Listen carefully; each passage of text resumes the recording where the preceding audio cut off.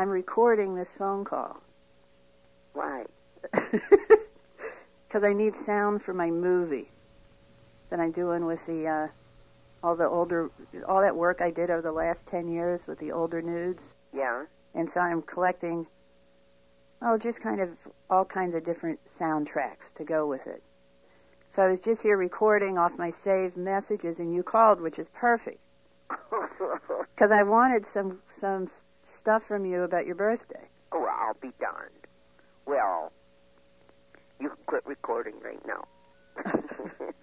Oh no, I'm not. You're not.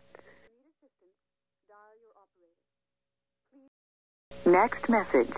Mommy, when he was going to be home, and um, and um, um, when you're going to go to the store, can you buy yeast? Okay.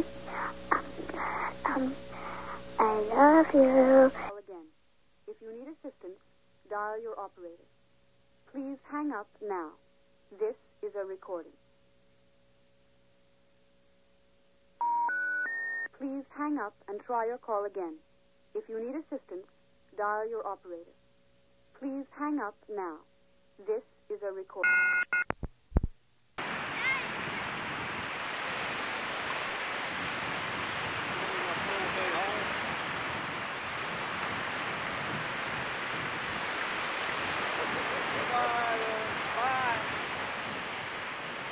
Next message. Hey, I'm not a dull brain. I don't appreciate that crap. How am I supposed to know you put it in a brown paper envelope? You know? Get up earlier. I don't appreciate being called stupid, Jackie. I really don't. End of message. To erase this message, press 7. To save it in the archive, message returned to archives. Hello, Steve. Yes. Dr. Hayes, hi. About your father. Okay. He was talking with the nurses at the nursing station, and according to the nurses, he he just got a funny color on his forehead, and they sat him down, and he just his heart stopped beating. That's uh, I mean, it just happened like five minutes ago. Um, I can offer if you want, uh, we could look into doing an autopsy if you want more. No. definitive or we can No, not at all. Doesn't matter. chat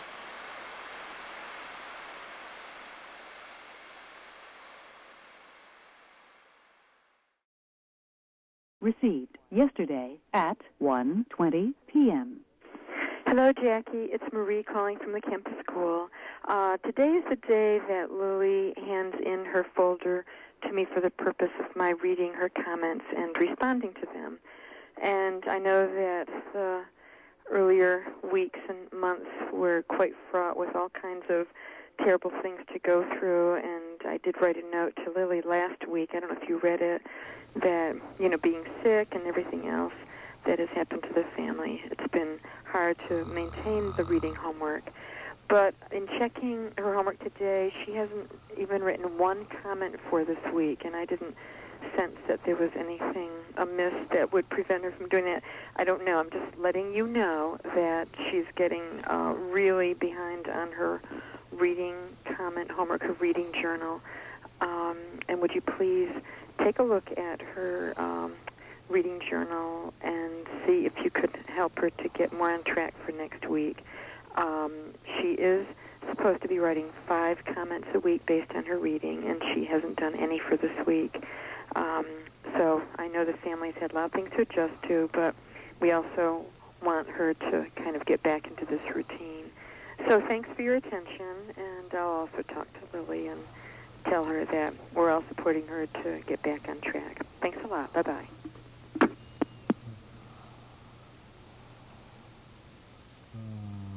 Because as I I'm laying there for what to do and wind knocked out of me, all of a sudden here comes another guy in on top of me, and he's moaning and groaning and blood's running out of him down onto me and and uh, and he's saying, "Mama, Mama, help me, help me." later on, after things quieted down, uh, I finally got myself out from underneath him because he had died. And uh, when I got up where I could see him, the side of his head was peeled away. A piece of shrapnel had hit it and just cleaned the skull off, and his brains were hanging out. So it uh, shook you up a little bit. I, I'll tell you. No, he'll just give all the hot. Give all the hot.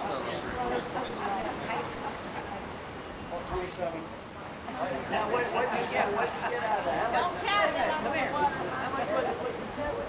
No, there's a half of one. Oh,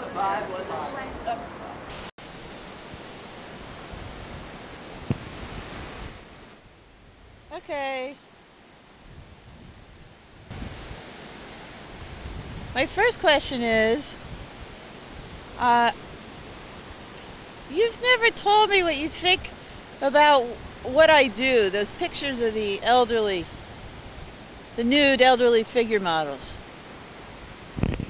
Um, at first, I was back, you might say. But then after I've seen them and what you're doing totally, your entire, you know, perspective, uh, I think it's great. I think you're doing real well. I'm very proud of you. Yeah, but what do you think's great about it? Just what you've done on your own. You come out of high school, you just had to be a nurse. You remember? Yeah. So you had to be a nurse. So you went to nursing school. Then I recall. You want me to talk about this kind of stuff? Yeah, that's okay. Okay. Then I recall you coming home one day, one weekend, and saying, uh, "That's a fruit school." You wanted to quit uh, at Jewish Hospital School of Nursing. And I said, "Well, Jackie, that's fine. If you want to quit, great." I'm really curious about those pictures. What do you think of those? The pictures, The big, the elderly nude. the elderly nudes, uh, I think they're fine. I, I can't say, you know, it really sends me. Uh, uh, not being an, uh, an art critic, but I think it's a good, it's something different in the art world. It opens some doors and eyes that uh, it should. Uh, it hasn't been done before. Everybody's looking at the young, youthful bodies and faces and all that uh, sort of thing. Uh, does that answer your question? Yeah.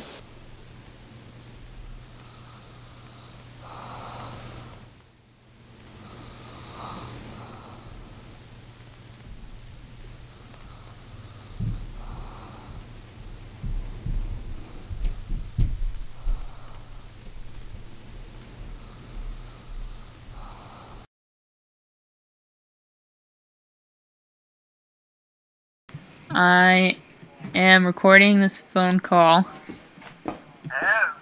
for my. That's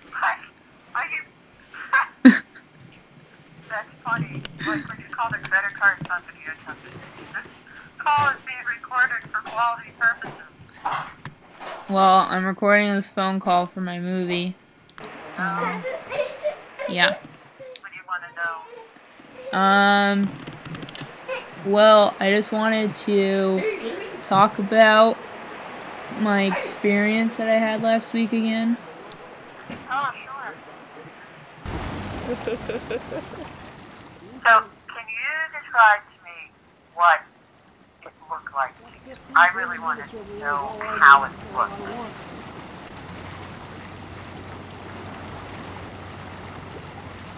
was um a distorted image of Papa's face hovering sort of right above my hips.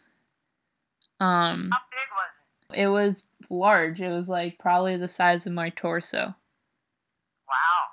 It was definitely Was it see-through or was it solid? uh it was solid but like when I sat up and started screaming it like began to move, and when it uh, it started moving towards me. Well, it started moving towards me, but more of a diagonal towards like the side of my bed. Because it, when it was moving towards me, it um, left a trail behind it. Um, What color? it was like skin color. It was like where its eyes were, were the color of its eyes, and where its mouth were, were the color of its mouth. That was the color of the trail? Yeah. What color was its eyes? Uh, I think kind of green. He had green eyes, Oh, brown eyes. Yeah. whoa. um, woof.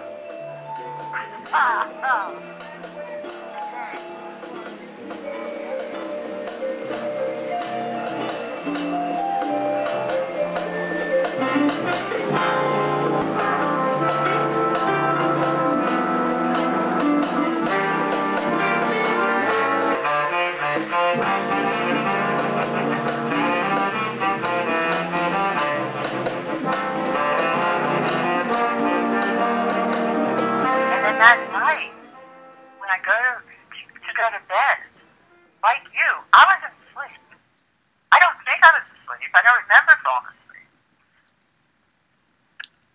But from the doorway, that just floated into the room to the bottom of the bed was a pretty much like a three, four foot size form, maybe that was um, uh, it looked like a human form under a black drape. So there was no face, no nothing, but you could just see like the drape hanging like a loose drape. And at the time, I knew it was it, it was emanating love, but I was also absolutely terrified. And I I closed my eyes and begged it to go away. Please go away. When I opened my eyes, it was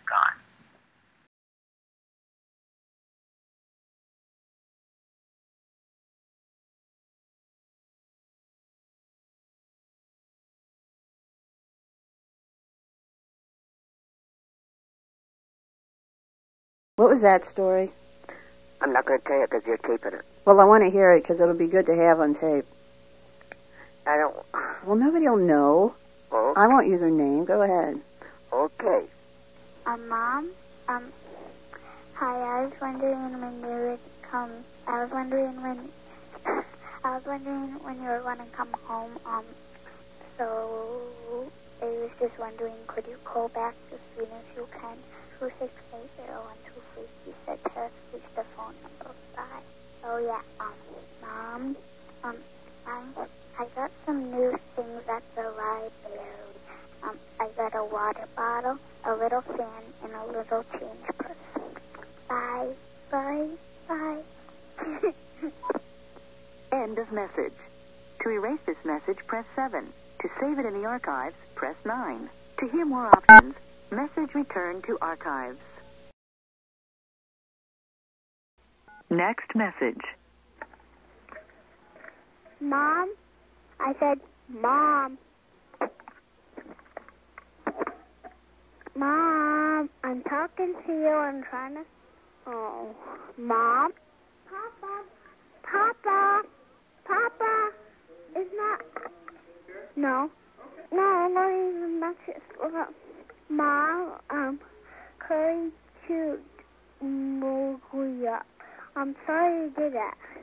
You're really curry and Mama and, and Papa. Dad.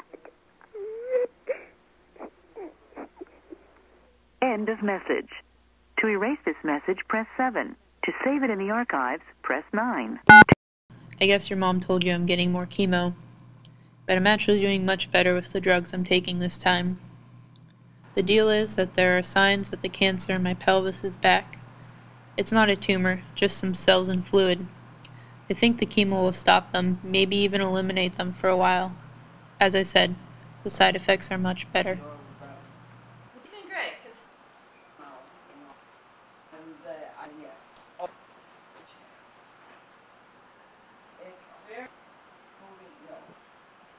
Next message. Hello, mommy. Um, this is Lily. Uh, I'm at home going to school, and it is Friday, so I just wanted to talk to you about. Um, talk, talk to you later. Bye.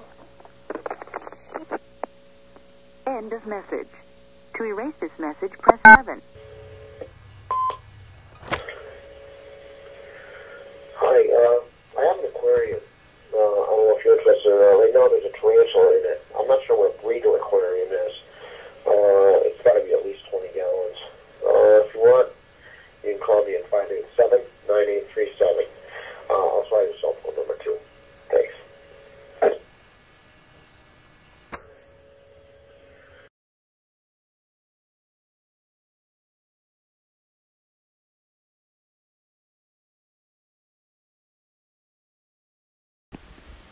There are people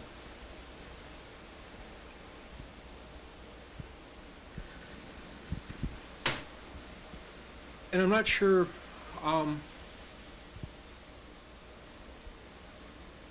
well I can understand where you're I'm not sure what I want to say but and I can appreciate and understand the dislike that you have because of, of what you've done. Um,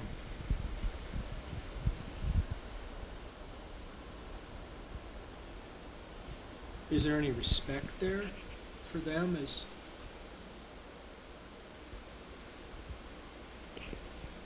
I don't, in any way or is it I'd be stretching a point if I said so, for me.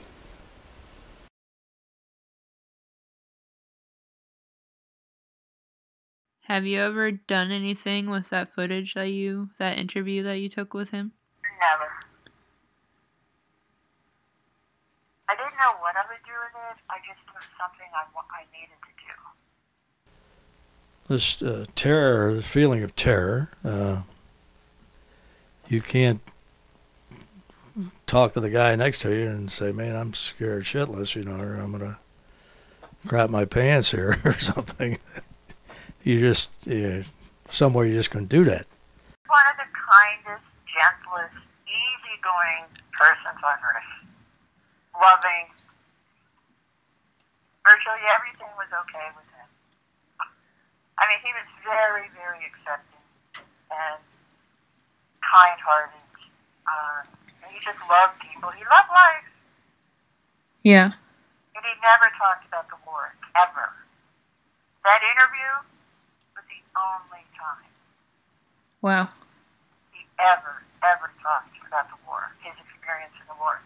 Well, I've talked about it but more with you than I have in years with anybody. You Uh-huh. know, really. But I don't it's- what got me going. It's But very sharp in your mind. Oh. That was very, I mean, that experience. Is you'll never forget it. You'll never, that's You'll, I meant. you'll never will forget it. Never. Uh, He would have these terror, these nightmares that would be just screaming out, you know, wake me up from my sleep. And I remember that through high school. But he never talked about it. And what Mimi's has had a story of him choking her one night and she had a hold of his arms and screaming, Jack, Jack, Jack, wake up, wake up. But he was, you know, in his dream and, you know, in the war. Recording, can